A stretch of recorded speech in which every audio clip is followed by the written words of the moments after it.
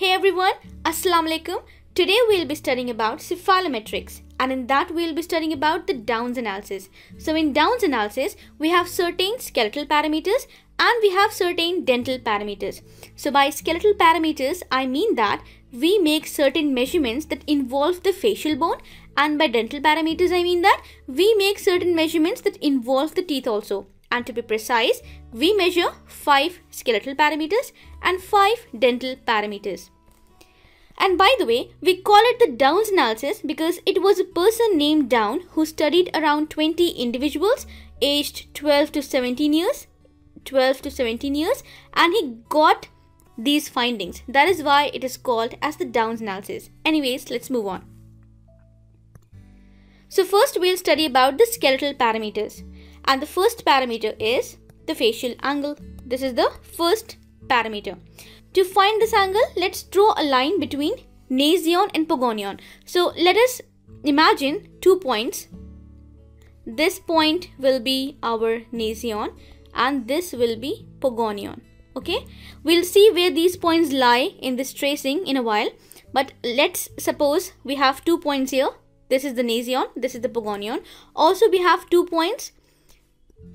This would be the porion, porion and this would be the orbital orbital.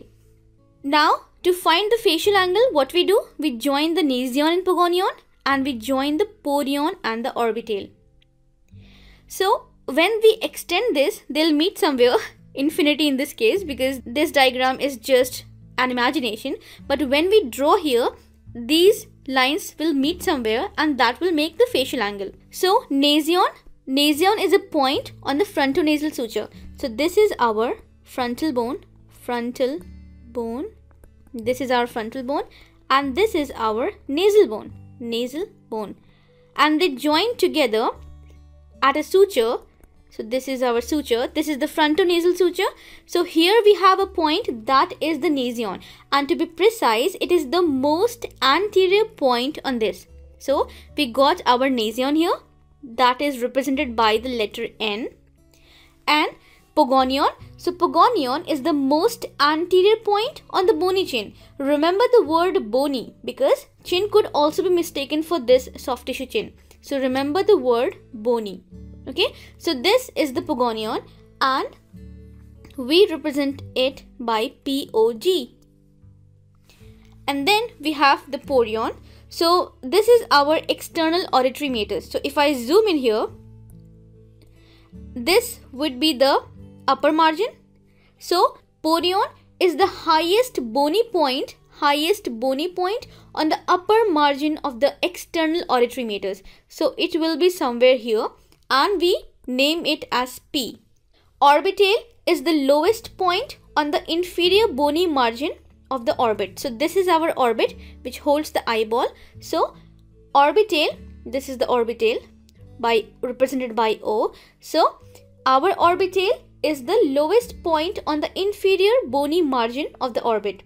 So we'll draw one line from the pogonion to the orbital and one more line from the nasion to the pogonion. We see that they intersect here and they form an angle. This angle, this very angle is the facial angle. This is our facial angle and the normal range is 82 to 95 degrees and the average value average value is 87.8 degrees. So this is the value we find in the normal individuals. Now this angle it tells us that how anterior or how posterior our mandible is in relation to the upper face. So this line, this porion to orbital line, it represents the upper face. So this angle, it represents how anterior or how posterior our mandible is in relation to the upper face. Now we'll consider two examples here. So I'm going to remove all these things to make things more clear. So we have two patients. One patient has class 3. So the patient is somewhat like this. This is the class 3 case. So his mandible is positioned forward. So in this case, what will happen? Our angle will increase. Let's see how. this was our pogonion initially but now the pogonion shifted here okay so now when we join the nasion and the pogonion the nasion to the pogonion i'm drawing a dotted line just to avoid confusion so now we find that this angle is increasing. This angle is increasing. So our facial angle increases in class 3 cases. In class 3 class 3 the facial angle will increase. Means it will be larger than this value. Okay? Now in class 2 patient this would be the case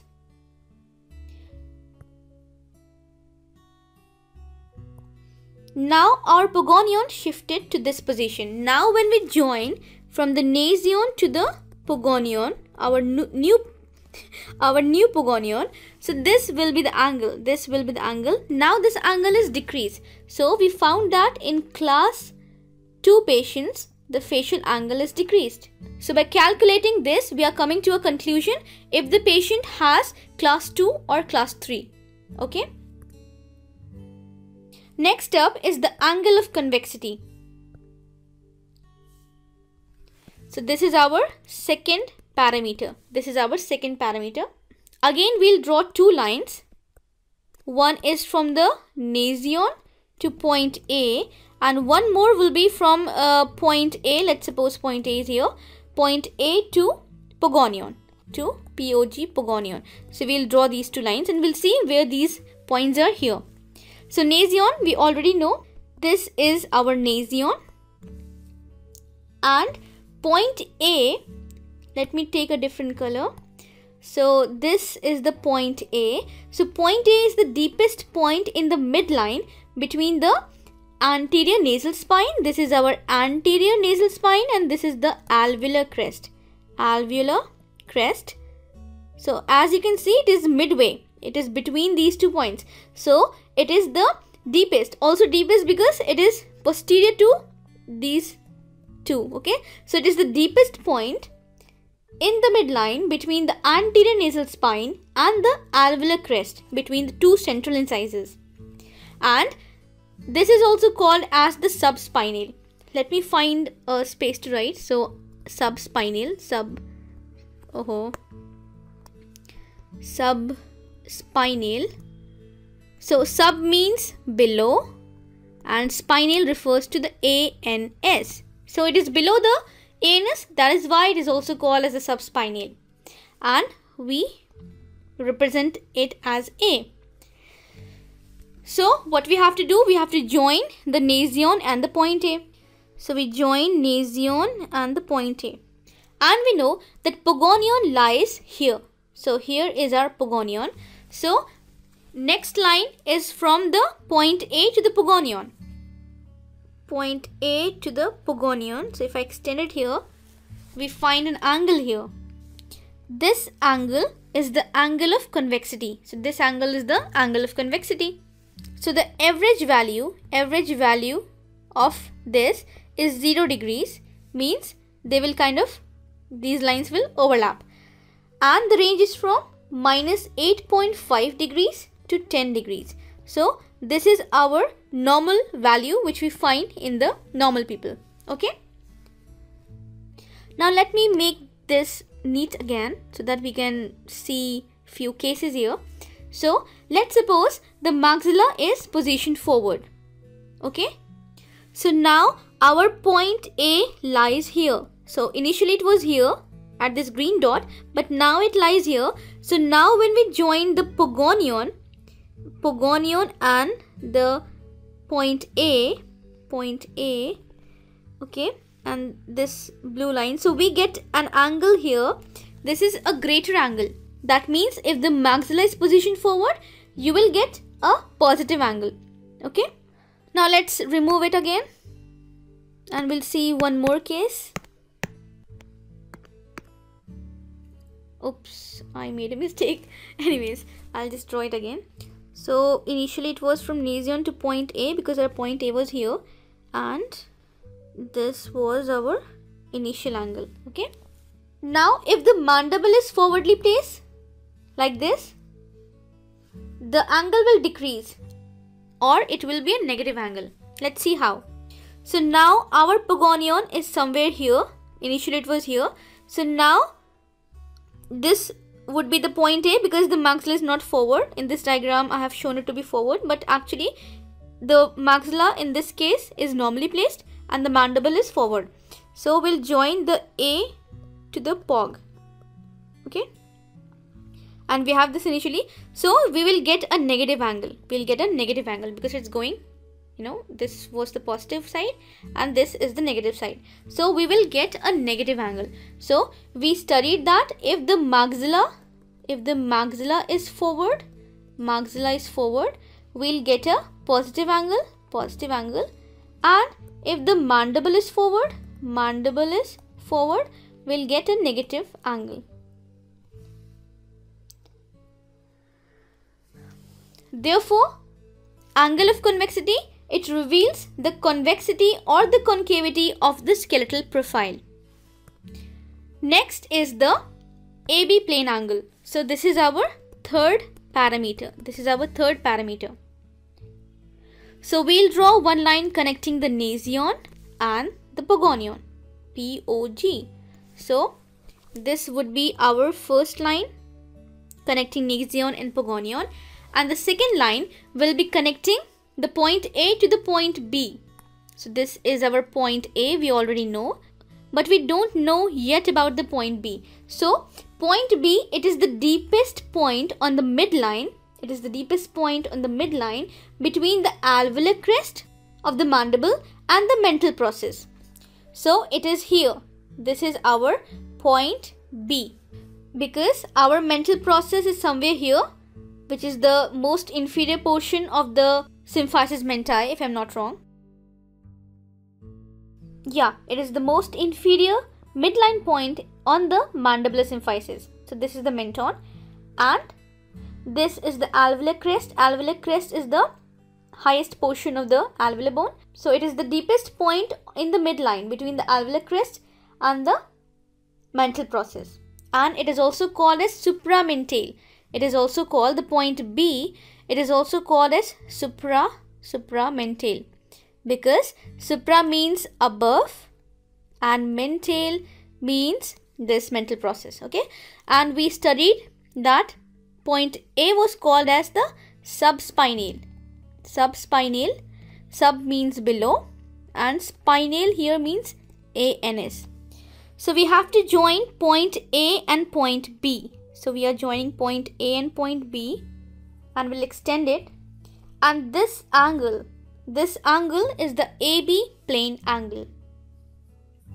The mean value is minus 4.6 degrees and the range is from minus 9 to 0 degrees. So the mean value is 4.6 degrees and the range is from minus 9 to 0 degrees.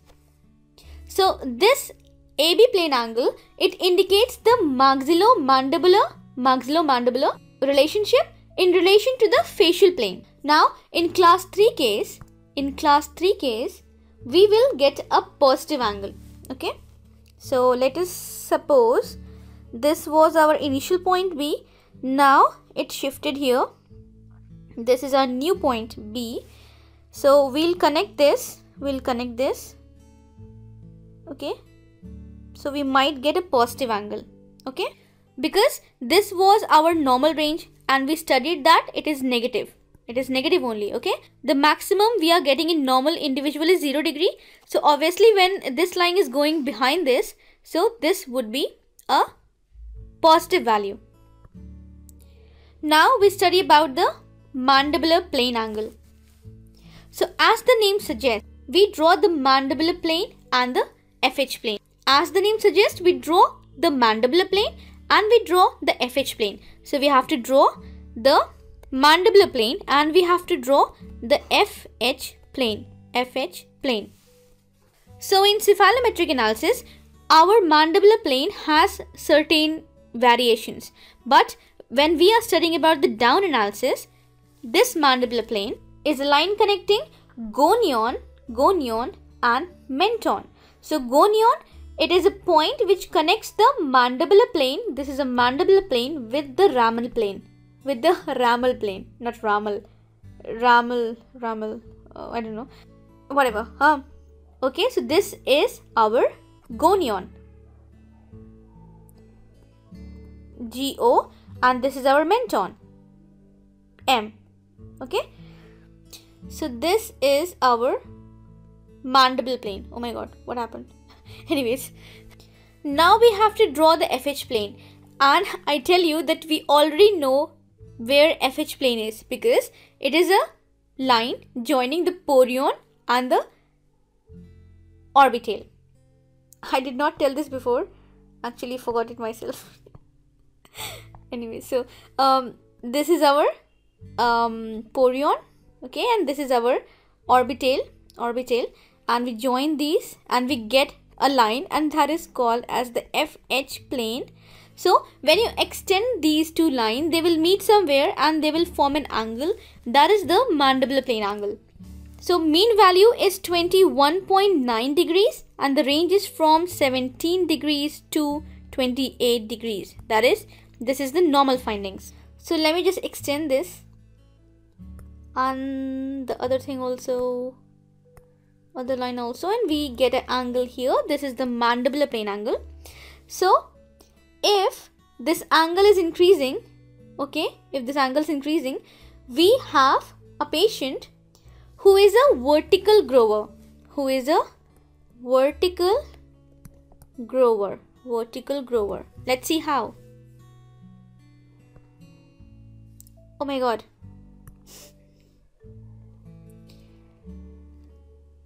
vertical grower because the mandible will be shifted downwards if this angle has to increase. Oh my god, I hate when the softwares don't work. So this angle is increasing, so the mandible is growing downwards. So the patient is a vertical grower. He's growing vertically. Okay.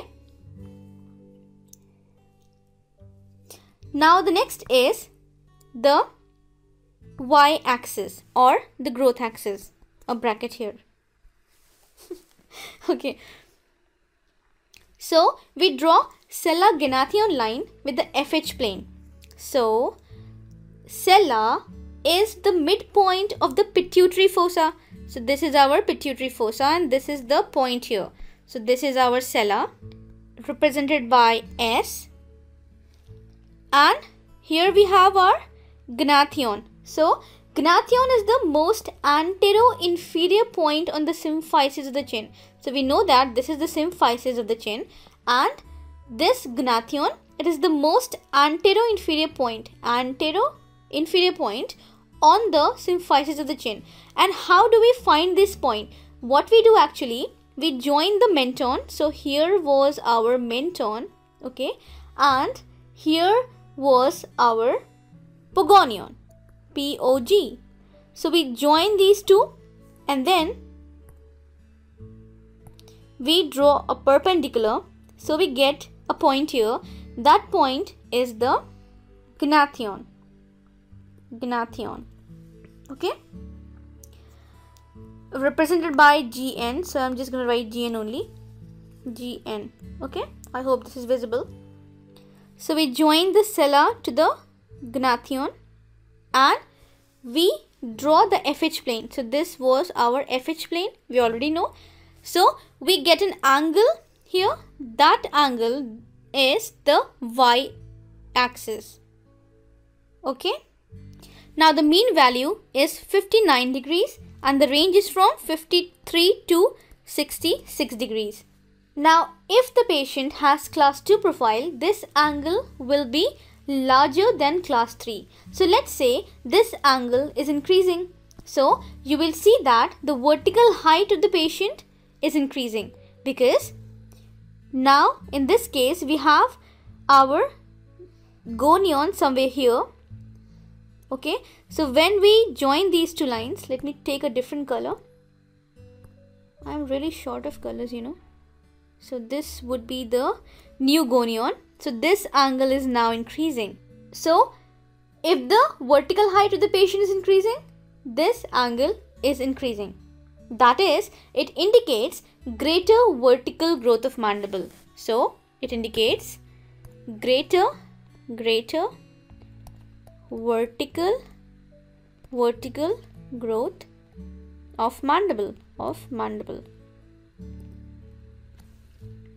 now if this angle is smaller than normal it indicates greater horizontal growth of mandible. So let us suppose the angle is like this. So it is decreasing angle. So now the mandible will be somewhere here. So it indicates greater horizontal growth of mandible. Okay? We studied if the angle is increasing it indicates greater vertical growth. And if the angle is decreasing we will have greater greater horizontal growth horizontal my horrible handwriting. Growth